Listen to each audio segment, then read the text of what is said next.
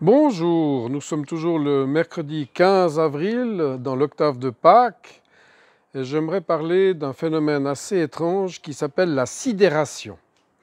C'est un réflexe de base que les psychologues connaissent bien.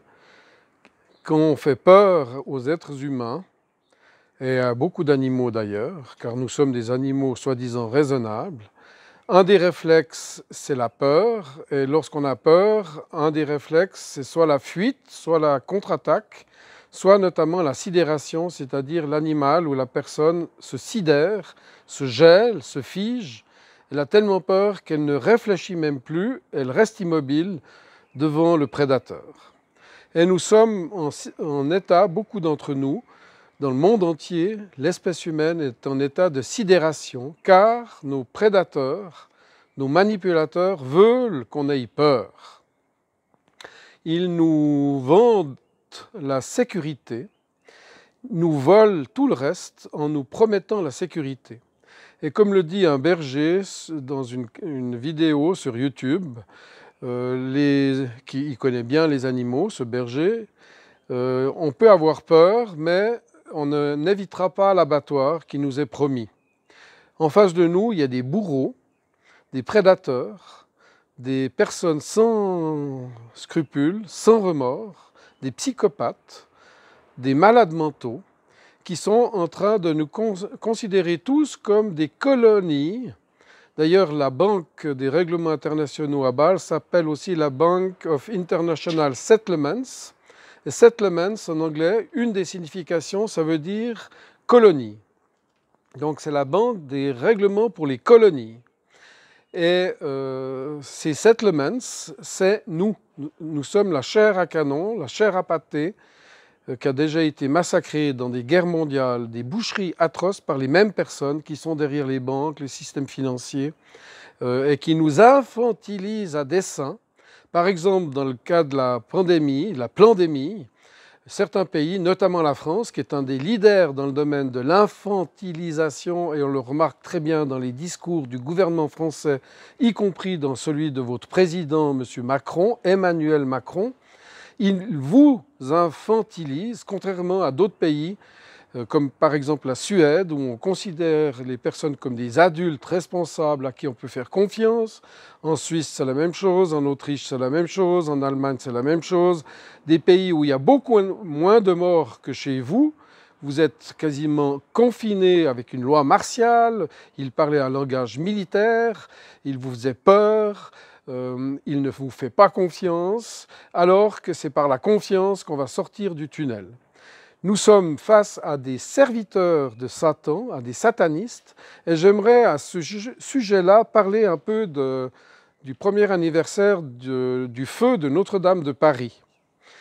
Je me souviens très bien de ce feu. J'étais au Qatar avec David Platek, notre animateur de la chaîne de télévision Agora TV News ou What a Beautiful World. Nous étions les deux au Qatar et nous avons été très impressionnés notamment des réactions de nos amis musulmans qui nous avaient invités, qui étaient tous d'amitié et de compassion.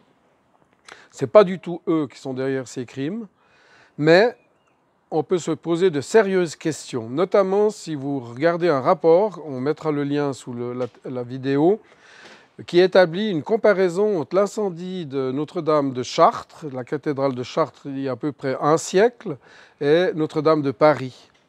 Et visiblement, ce rapport euh, démontre que la police française a fait une enquête bout de bois, une fausse enquête, pour chercher, oui ou non, est-ce que ce, crime, visiblement c'est un crime, est-ce que c'est criminel ou pas? Ils sont tout de suite partis dans la thèse de l'accident, une thèse qui ne tient pas du tout la route scientifiquement. Vous verrez les preuves dans ce rapport circonstancié. Et le rapport établit notamment que comme dans les tours de New York, les trois tours de New York, et non pas les deux tours de New York, faites votre enquête, il y a trois tours. La tour numéro 7 est aussi tombée, il n'y a aucun avion qui a touché la tour numéro 7, elle est quand même tombée. La tour Salomon. Euh, cherchez eh bien, la même substance, la thermite, c'est une substance d'ordre militaire, a servi à mettre le feu à la cathédrale de Paris, comme cette même substance a servi de faire tomber les trois tours de New York. Vous avez les mêmes personnes derrière. Alors si vous creusez un peu cette piste, nous arrivons à des cercles sataniques qui nous persécutent. Donc nous, faisons une enquête sur ces cercles sataniques, des réseaux sataniques mondiaux. Nous, nous faisons un nouvel appel à témoins. Nous avons déjà reçu pas mal d'indices de, témoignages sur ces liens sataniques. Sachez par exemple que le satanisme dans l'armée américaine est subventionné par les, impôts des Américains. C'est considéré comme une religion. Des militaires américains dans les plus de 1000 bases américaines dans le monde entier sont des satanistes en bande organisée, subventionnés par les impôts des Américains et de tous les gens qui payent des impôts aux États-Unis. Donc vous avez déjà là, dans l'armée américaine, plus de 1000 bases réparties dans le monde. Vous avez un réseau de satanistes qui se considèrent comme des religieux et qui adorent Lucifer, Satan, le Baphomet, quel que soit le nom que vous lui donniez. En creusant un peu, même en Suisse par exemple, à Berne, dans notre capitale, devant le casino où se réunit la Banque nationale suisse dans ses assemblées générales, vous trouverez aussi des liens sous la vidéo, il y a une statue qui s'appelle le Kinderfressli. Ça veut dire en allemand le bouffeur d'enfants. Et vous voyez un ogre qui mange des enfants vivants. Et cette statue existe depuis euh, quasiment une année, euh, depuis le Moyen Âge. En plus, vous avez euh, un, parc, notamment à Oslo, avec des monuments sataniques dans le parc, de nombreux monuments sataniques avec des serpents qui mangent des enfants, qui abusent sexuellement d'enfants. Vous avez des scènes euh, d'orgie, euh, toujours en présence de principes sataniques, de diables, de reptiles, d'animaux fantastiques. Toute une symbolique à Oslo, c'est le plus grand parc public qui a beaucoup de visiteurs chaque année, qui se trouve en Norvège. Vous avez aussi, vous trouverez les liens sous la vidéo, des monuments sataniques avec le Baphomet avec des petits-enfants aux États-Unis, notamment euh, devant un, parlement euh, euh, dans un État, sauf erreur, c'est l'Arkansas.